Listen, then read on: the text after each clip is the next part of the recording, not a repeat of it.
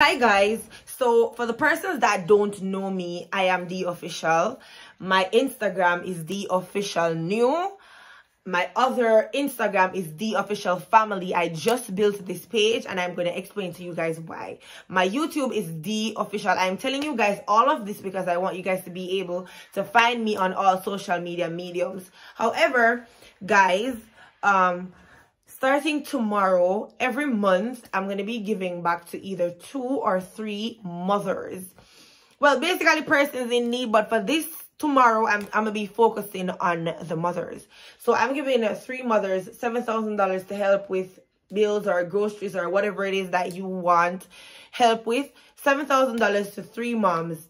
So DM me your story or DM me somebody that you would like to see get this story and if I can meet with you guys and give the cash to you, I'd prefer that or I can wire transfer, it doesn't matter. But I want you guys to be able to show that you have received the cash. Because remember, it's not me alone.